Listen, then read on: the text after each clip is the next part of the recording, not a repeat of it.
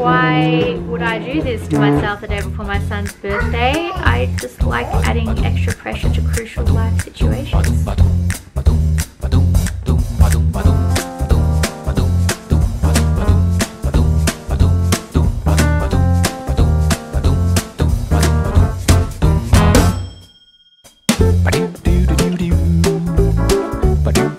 Like I said, this will be a journey, not a process. It's like a documentary. That's right. Want this one? Here, you go. Welcome back, baking enthusiasts, and that is what I'm calling myself today because uh, I would describe this cake tutorial definitely as a journey not just a process. So I'm going to be filming this semi-vlog style. You're going to be joining me for the highs and the inevitable crashing glows because I've never attempted this style of cake before. So me and my game face are going to be tackling this cartoon ice cream cake. So it's not a fondant cake, it's a buttercream cake, which I prefer to work with. And you obviously do a black outline to make it look quite cartoonish and you just add a regular cone on top. So this original design is by an Instagram baker called Tigga Mac and she is just wonderful. I absolutely love her profile and she posts really, really fun little cake tutorials and what she's doing. She, she's worked with Disney. She's just absolutely phenomenal. So full credit to Tigga Mac for this inspo. Oh, I didn't intentionally come to the table with this smoky under eye but it has been so long since I've applied makeup I, uh, I forgot where the mascara went. Now to preface this with a bit about me I am not a complete novice. I used to be a baker. I didn't quite finish my apprenticeship though because I had zib babies. I do like to bake every now and again especially for a special occasion such as my son's birthday of which this cake is for. I'm doing this all very last minute because we've just had a harrowing two weeks of sick children who are now on the mend. They've had their first day back at school, but honestly, let's hope I actually even finish this vlog. I have a cake to make. I've got two buttercreams to do, a sweetened condensed vanilla icing for the middle and just a regular white frosting for the outside. I've got to make dinner and I'm also currently engaging in childcare for my youngest and I'm starting to question whether perhaps I may have taken on a little too much. Also questioning my sanity. Whoa! And so is my camera. So for those of you who are interested in picking up any little baking tips, uh, do watch on. Once again, I do come with a bit of baking experience and I'm not a complete novice.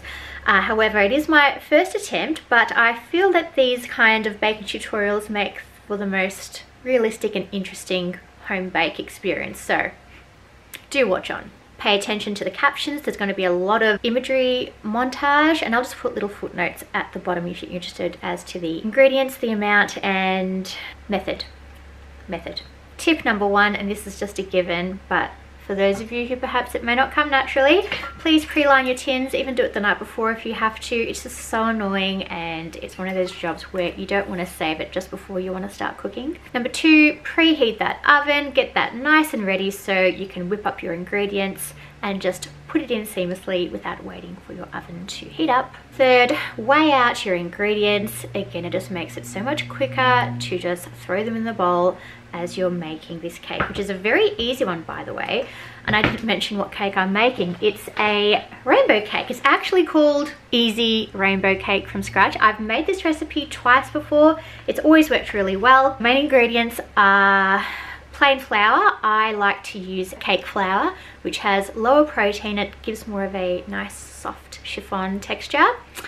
Butter, food coloring, buttermilk, sugar and eggs. So quite household staples, baking powder, salt, whipping cream, and because I just didn't acknowledge the fact that this cake would need cream in it, which is quite odd for a cake really, I think I'm going to sub coconut cream because that's what I have on hand. So we'll see how that, what that result yields for us.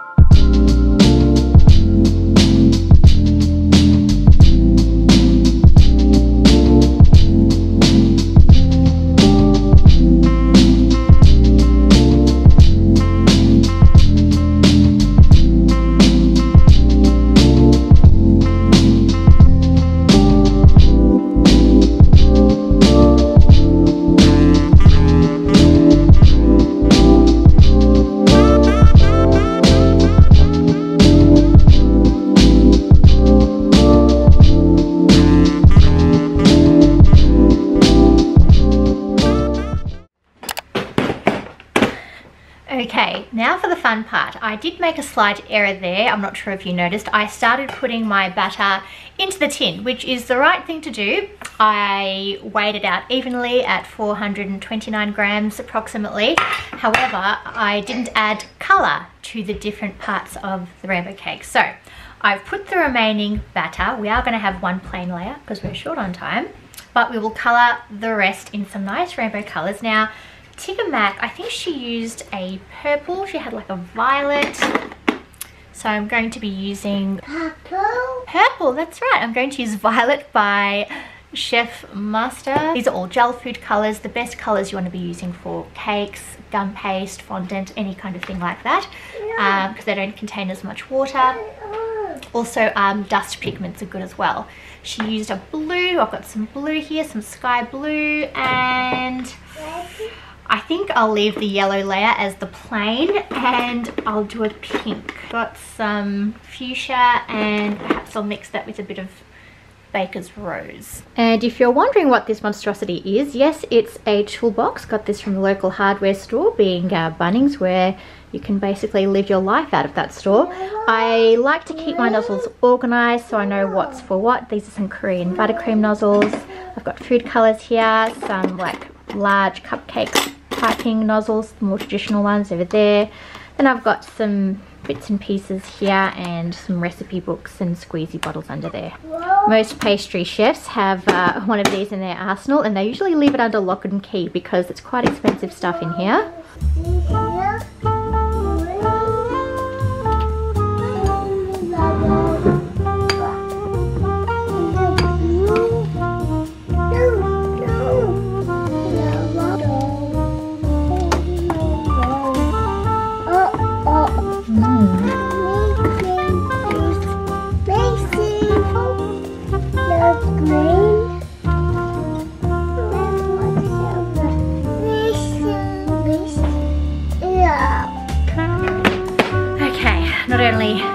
Let me rephrase that. Not only am I here to learn from my mistakes, but uh, so are you. Like I said, this will be a journey, not a process. It's like a documentary. The,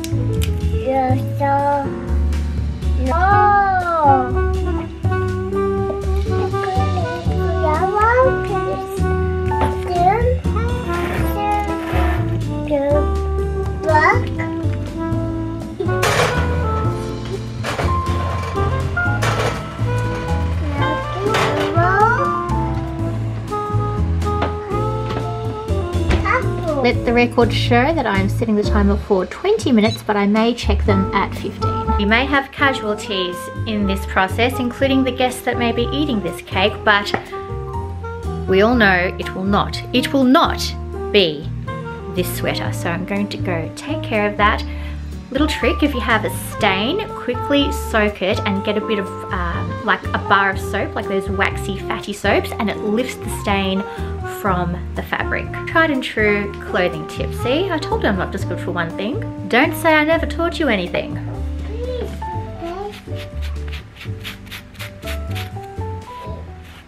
Okay, cake is in the oven. I'm hoping someone may come home to relieve me so I can dip out for a few more ingredients because I'm lacking some licorice straps that I wanted to use for the outline, the cartoon outline of the cake. I thought that might save a little bit of time and I also need butter because hence the buttercream of course. I don't know why I didn't consider this earlier. Sleep deprivation actually makes me consider what my life might have been like earlier before children and when I wasn't so sleep deprived. Wow.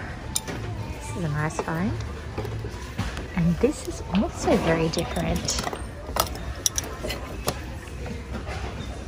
This speaks to me this is also an unusual size, but kind of practical for your little bits. These are also very cute. Love the contrast leather handles. Hmm. My gosh, wooden coffee to go set. This is too cute. But as if kids would actually do this. I mean, well, perhaps if they want to aspire to be a barista. I mean, good time to practice. Mummy likes coffee. Oh my gosh, wooden beauty kit. Here we go. Okay, back with the goods and I couldn't help myself but to pop on my new Kmart slippers that I found incidentally whilst I was shopping for my son's birthday present. which also happens to be a patisserie Play-Doh toy. I mean, can you believe this? Where was this sort of thing when we were children? More on that toy later. I'll, I, I must give you a demo, but I couldn't help but rip off the tag and start wearing these little UGG-like furry slides. They are so comfortable and look at the gold buckle detail.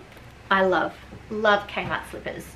I have a pair previously here, four years, been through the wash probably 400 times. Yes, it is just starting to develop a hole, which is not very hygienic for me to be showing you slippers in the kitchen, but we'll just ignore that. I'm not just here for baking advice, I do a bit of fashion as well. Also, another preface, this vlog will transcend over a few days because my son's birthday is actually tomorrow and then we might have the cake the day after, so we will get there and hence we might be jumping backwards and forwards in time. As you can see, we are into the evening now, licorice laces in hand for anyone who's wondering what they're called and ready to, uh, to decorate. Why? Some of you may be asking why would I do this to myself the day before my son's birthday? I just like adding extra pressure to crucial life situations, it appears that's about there.